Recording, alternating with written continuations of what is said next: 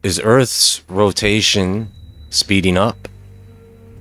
Why today, July 22nd, may be another of 2025's shortest days.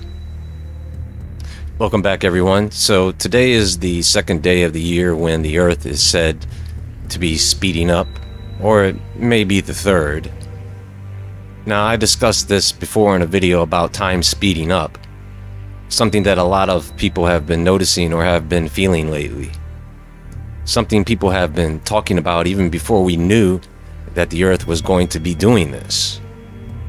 Now, I do believe that sometime in the very near future, they are going to start to reveal some things to us. Some documents and artifacts that will cause a shift in the way people view the world. And when that happens, it's going to feel like the floodgates have been opened people will start to question everything our history, science, religion, and even their own sense of reality. You already see it happening now. You see, moments like this, when the Earth's rotation is changing, when time itself feels off, these things are tied to bigger cosmic shifts. It's like nature is syncing up with disclosure. So, whether it's ancient knowledge that's been hidden or new discoveries in space that can no longer be ignored, we're approaching a point where the illusion starts to break apart. And when it does, people will be forced to wake up. And then we'll see who's the first to go run and hide.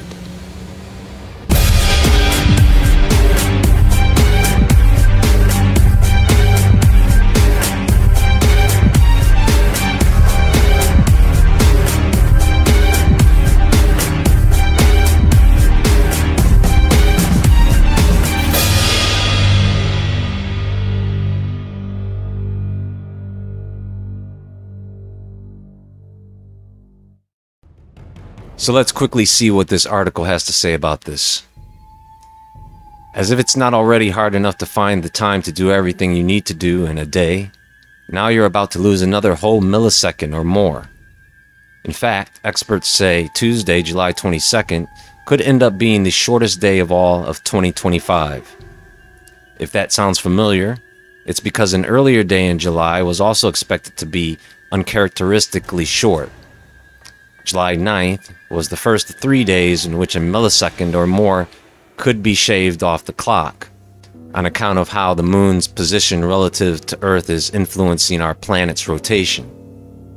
Okay, so with that last statement about the moon, I can already see that they're trying to throw the public off of this.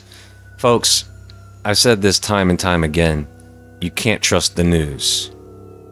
Earth takes 24 hours to complete a full rotation in a standard day, equal to exactly 86,400 seconds. If a standard day is shortened or lengthened by a number of milliseconds, that added or detracted time is referred to as length of day, according to the website Time and Date. Okay, let's see what Time and Date have to say about this. Okay, folks, so instead of three days this year, we have four days this year. The Earth has increased its speed. Why three possible dates? Short term variations in length of day are affected by the orbit of the Moon. Our planet spins quicker when the Moon's position is far to the north or south of Earth's equator. The Moon will be around its maximum distance from Earth's equator uh, the three possible dates for the shortest length of day in 2025. The following links for our moonlight world map show the moon's position, indicated by the moon symbol, at 12 UTC on July 9th, July 22nd, and August 5th. Why is all this happening? Why has Earth accelerated and when will it slow down again? These are difficult questions. Long-term variations in Earth's spin speed are affected by a long list of factors that includes the complex motion of Earth's core, oceans, and atmosphere. Nobody expected this, says Leonid Zotov, a leading authority on Earth rotation at Moscow State University. The cause of this acceleration is not explained. Okay, so they don't know why the Earth is speeding up. That's what they're saying here. By the way, they're trying to trick everyone into thinking it's the moon, and it's not. They want you to think that the further away the moon is, the faster the Earth spins, but it's actually the opposite. The closer the moon is, the faster the Earth spins. So the bottom line here is, folks, the news isn't going to give us any answers. And I very much doubt the scientific community is either because of what this may indicate. Now, since 2020, the Earth has done this at least once per year. And this year, it is expected to do it at least four times. If this trend continues, and I already ran the numbers, then next year we should expect the Earth to do this five to seven times. If you go and check the dates when this occurs, the Earth is only doing this when it is close to aphelion, which is the farthest point from the Sun in its orbit, which means that the Earth is in a certain location relative to the Sun when this happens, which indicates to me that there is something on this side of the Sun that is affecting the Earth. These scientists can say whatever they want, that it's the Earth's core, the oceans, the atmosphere, but they'll have to explain why Mars has been doing the same thing since 2018. I'm telling you folks, they are going to run out of excuses pretty soon. Over the last few years, the sun has been acting off. We're seeing massive sunspots appear and vanish almost overnight.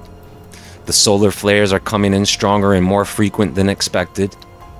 Scientists have already admitted we're ahead of schedule for the solar maximum, which wasn't supposed to peak until 2025.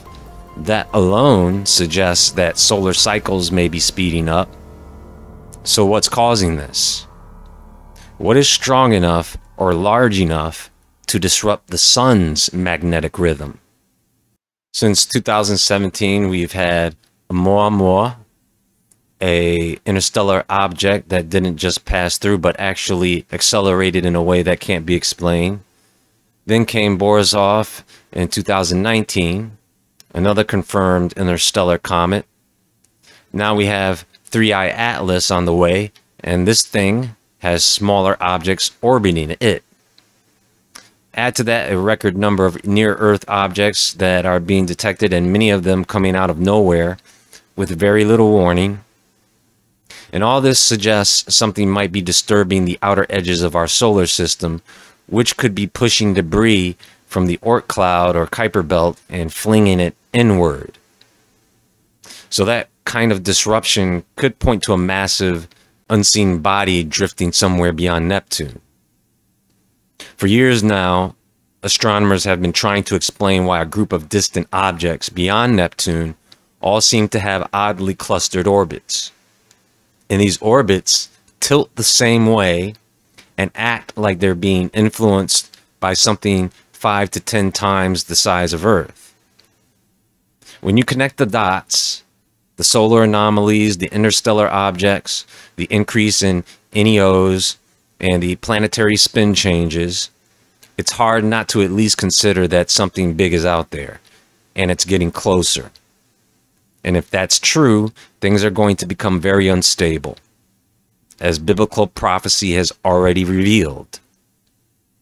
Earthquakes and volcanic eruptions could become more frequent, especially in areas already known for seismic activity, like the Pacific Ring of Fire, parts of the Mediterranean and Central Asia.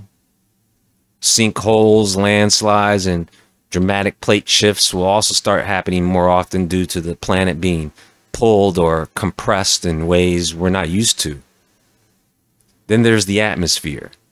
Superstorms that seem to appear out of nowhere, strange weather patterns where deserts get snow, or summer and winter blending together, changes in Earth's tilt, orbit, more solar radiation affecting the climate, and biological systems, including us. Earth's magnetic field is already acting weird. Nature would be our canary in the coal mine, and animals react to planetary changes long before we do. We might see more fireballs, strange auroras, reddish skies from dust and plasma. We might see strange new illnesses, mood swings, insomnia, or even mass psychological shifts. People might start having vivid dreams, visions, more spiritual experiences. History shows these moments come with a kind of collective madness. Increased UFO or UAP activity. If something's approaching, we're not going to be the only ones watching. Sightings could spike, triangles, orbs, fast moving lights, and they might not all be ours. Certain beings monitor cosmic cycles like these, especially when something big is about to go down. Ancient prophecies, spiritual texts, and old myths. Some people will find hope, others fear. But one thing's for sure it's going to force people to ask who are we? Why are we here? More than ever. And this kind of global awakening could either unite us or just tear us apart. I think what people are going to keep asking about everything they've been waiting for is how much longer?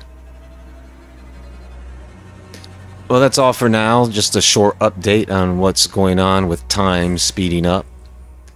Maybe this has something to do with it. Maybe there's something else that has something to do with the feeling of time speeding up. But I'm staying on top of it. Until next time, friends, everyone have a great day. And as always, stay awake, stay aware, stay safe, and I'll talk to you all soon.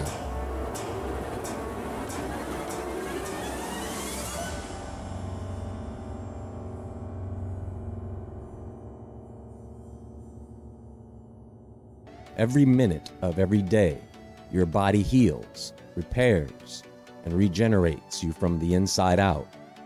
Yet everyday exposure to heavy metals and toxins builds up and blocks your body's natural abilities.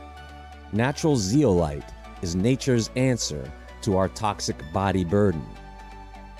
Breakthrough sound wave technology creates the world's first colloidal zeolite. Touchstone Essentials Pure Body Extra Colloidal Zeolite helps clean out the chemicals from the body with an easy to use spray so you can make room for healthy in your life. Click the link in the description box below to order your supply of zeolite today because now is the time to live your best life.